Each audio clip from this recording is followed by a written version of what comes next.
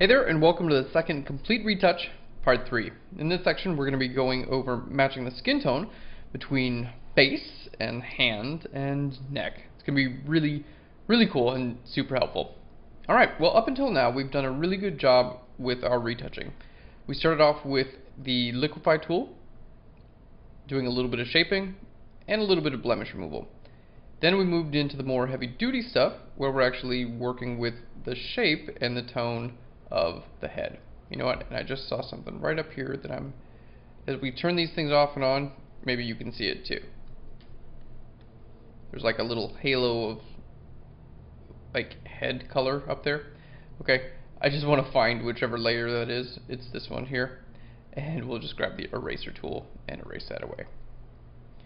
No bigs. That's like the best part about turning layers off and on. It's like you really, you really notice stuff that should or should not be in your photo.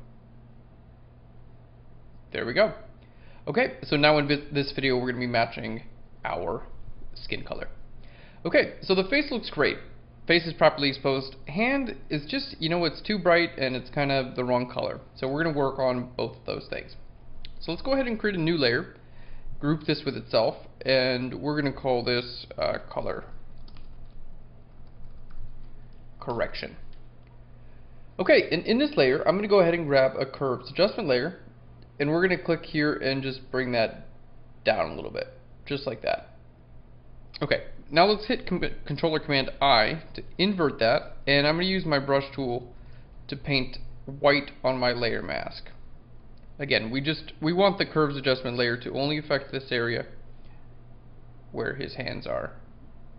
I'm going to bring this down a little more so I can actually see what I'm doing with my layer mask. There we go. So I'm I'm doing my best job to mask out just his hand.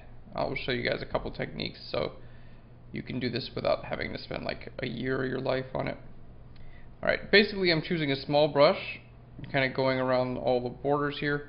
Not trying to be, you know, perfect as you can see. I'm not zooming in really any further than this. Um, the reason is all this stuff around the edges I'm going to actually wind up painting away in just a little bit with a soft, large round brush. There we go. Alright, so the hand is too light in color. In other words, it's, it's too bright. That's why we're using curves to darken it down a little bit. Okay? There we go. That does not look correct, I know that, but now we have our layer mask in there. I know what what this layer is going to affect. It's going to affect the hand. Alright, let's go ahead and reset this. Now, I want the highlights to be a little bit darker here. See that the highlights are a little bit bright. So we're going to bring those down a good bit. There we go. Something like that. And I want to bring our shadows a little bit brighter to kind of even out what's going on with his hand and his face. So there we go. Just kind of like making that area darker. And you can see it looks good. Looks a little bit weird on his finger and on the top. So what we're going to do Remember I created my layer mask and I said I was going to paint away a little bit? Well, I don't want to mess with this layer mask because I already have it and it's nice. What I'm going to do instead is I'm going to group this layer with itself and then I'll put a layer mask on the group which basically gives me a layer mask that only affects this layer. So if I want to grab my brush tool and paint black really large at a really low flow on this layer mask it's going to affect this layer also but I don't have to mess with this layer mask. So it's like I'm adding another layer mask. So let's go ahead and do that. I'm just painting black in this area until all the places that are kind of like a little bit weird, like the tip of the finger and whatnot, all those places are going to just be taken care of. Alright, so this is before and after that layer mask. Now if I decide I want some of it back, I can go ahead and paint it back and I don't have to be super precise about it because the original layer mask right here, that's still there. I haven't touched it. So working, basically I've got two layer masks for just this one area. Really nice. Okay, now that looks pretty good. Um, color-wise, or sorry, as far as light and dark goes, that looks pretty good. We do want to create another layer for color correction, and this is going to be a color balance adjustment layer. Okay, so color balance adjustment layer. And now, what we're going to do, we have this color balance, like, We've used this before. Let's, let's just use this as an example. Yeah, that looks great. Um, what we're going to do is copy the layer mask from this curves adjustment layer. Remember this one where we just did this? Okay. We're just going to copy the layer mask from this over to the color balance. And that's so we don't have to paint it in again. I'm going to hold Alt or Option and drag this layer mask on top of this one. Bonk. And you can see it just replaces it. Really nice. And now he's the Hulk just on his hand. Alright, let's go ahead and reset this. Alright, and we're going to zoom out and kind of see any changes that we may need. Let's see our midtones. Let me see if we put a little bit more red into the midtones. That's looking good. Alright, if we put like, basically with these I drag, I just click and drag it left and right. Like, does that make it better or worse? Does that make it better or worse? And usually, you won't have to drag you won't have to go too far to see like what the image actually needs. Alright. Highlight color, gonna cool that down a little bit. Alright, and our shadows. So in this case it didn't need like a ton of adjustments really. The curves adjustment layer did a lot of our work for us, which is very nice. There we go. Alright, so let's see the before and the after. Again, it's not a huge change, just basically took away a little of the red, sorry, took away some of the some of the yellow and added some red. Okay, now we're going to do another color balance adjustment layer. Let's go ahead and pump this up so I can see what I'm doing here. And I'm going to focus this on the neck. So on my layer mask, I need my layer mask to be black. I'm going to hit controller command I to invert it.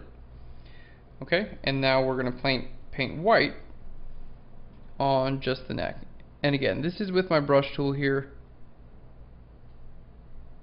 Alright.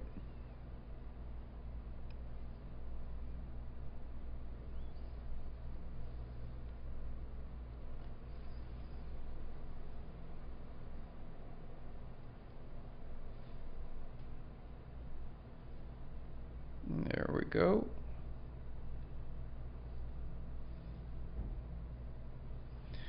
Cool. That looks pretty good. Okay, so that's the area that's selected now. Let's go back to our adjustment layer just by clicking right here. You can go from the mask to the layer to the mask to the layer. We're going to reset that. And now it looks a little bit too much blue. So I'm gonna, here in my midtones, we're just going to click here between the yellow blue. I'm just going to click the down arrow a couple times. We're just going to put take away blue and put more yellow. And then we'll click a couple reds in there. Alright, and maybe some magenta. Alright. So before and the after with that, we can see Alright, that's slight change. You know what, but I think it's a little too saturated. And if it's too saturated, meaning there's too much color, then what we want to do is grab a hue saturation adjustment layer, which allows us to adjust our saturation. Okay, well, I'm going to use the same layer mask as in this color balance layer, right, for the neck. We already made it. So again, to copy this layer mask to the hue saturation adjustment layer, hold Alt or Option and click and drag from one layer mask to another one. Okay, now in my hue saturation adjustment layer, check that out. Really easily, I can adjust the saturation of the neck. So I'm just going to use the up and down arrows till we get something, yep, that looks better, a minus 6. See, too much color, just right. Now if you're thinking to yourself, man, I have no idea what you're talking about. I didn't see the too much color. I guess it looks better now, but I would never even thought to do that. Uh, how do I know how to do that? Well, um, practice helps. Also, sometimes you can just kind of play around and say like, you know, select that area and be like, does this look better? Or does this look better? Or maybe somewhere in between. And eventually you'll get to see what like you know like to me I can see that as oh yeah that is too much saturation. See how it looks like there's more color there than the rest of the body? I mean I exaggerated it but you know obviously when you see something like that that's when you know you gotta take your saturation and bring it down a little bit. Alright and it does help to be zoomed out great Alright, well it may not seem like we've done a whole lot with this section, but let's go ahead and look at the before and the after, and I think that you will agree that we actually did some positive changes. Alright, there we go. Here's our before and our after. A lot with the hand there, right? And the after, you're just like, yeah, that's how it should look. The before, you're like, whoa, I can't believe it was that far off. And it was. anyway, so there we go. A nice before and after to show you guys how we can color correct different areas of a portrait, including the hand and the neck and the face, to wind up looking more similar to each other. Alright, great guys. That's the end of this section. We'll see you in the next section.